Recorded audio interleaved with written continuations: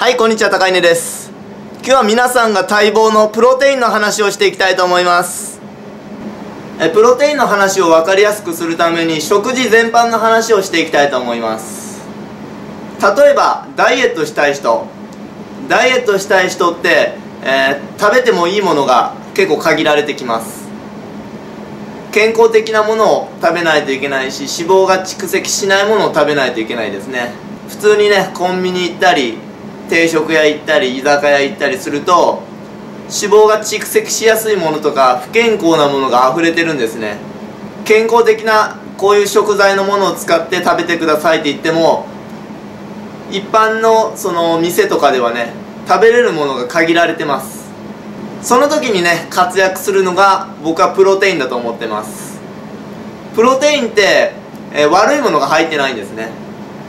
えー、例えばホエイプロテインだったら、えー、タンパク質含有量が高くて、えー、90%近く入っていてでビタミンミネラルが入っていて、えー、全部とっても体に害がないものですね。なので飲み方としては普通に生活してるとこう不健康なものに溢れててどんどん脂肪がつくものが溢れてるんですね。でその中で食事をとるにあたってサポートする役割として、えー、間食とかね、えー、トレーニング後はもちろんですけどプロテインを飲むと。そうすると非常にいいんじゃないかなと思います。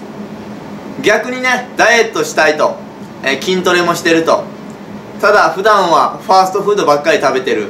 えこれだと、え本末転倒というかえ全然意味がないことになりますね。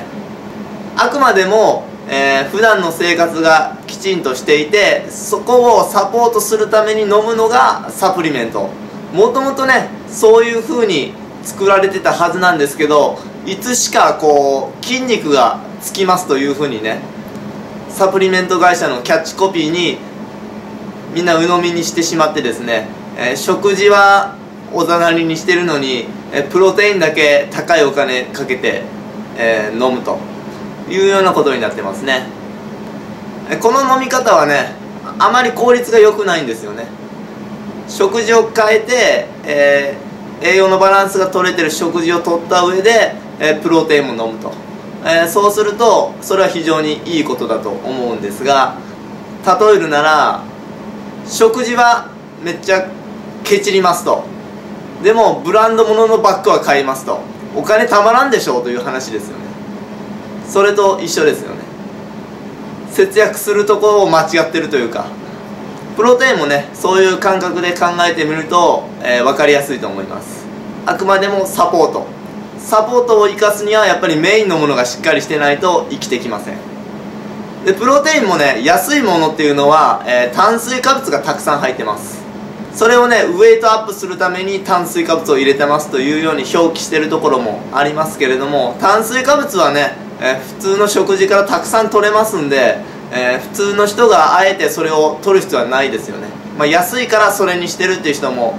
いますがどうせ飲むんだったらホエイプロテインを飲んでもらった方が効果はあります。今回はねプロテインっていうか栄養全般に関して、えー、話しました。またご意見があればどんどん書き込みしてください。以上です。